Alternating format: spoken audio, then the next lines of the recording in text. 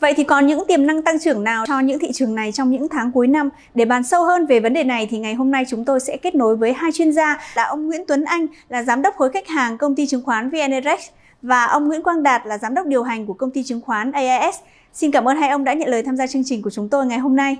Theo hai ông thì ngoài thị trường cổ phiếu niêm yết, những thị trường khác như thị trường trái phiếu, thị trường chứng khoán phái sinh có những cái tiềm năng tăng trưởng trong những tháng cuối năm không ạ?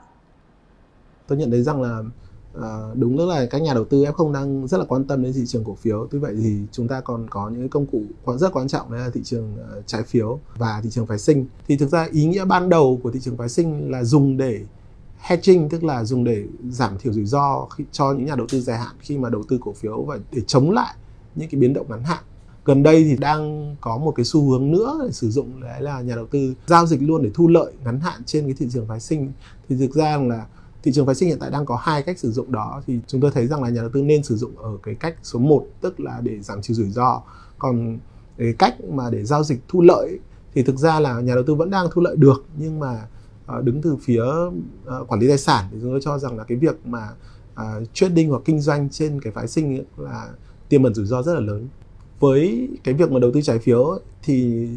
so sánh với cổ phiếu thì rõ ràng là cái kênh đầu tư trái phiếu là có những cái ưu việt rất là lớn. Thứ nhất là kênh đầu tư trái phiếu là kênh an toàn hơn rất là nhiều so với thị trường cổ phiếu. Bởi vì là cái quy trình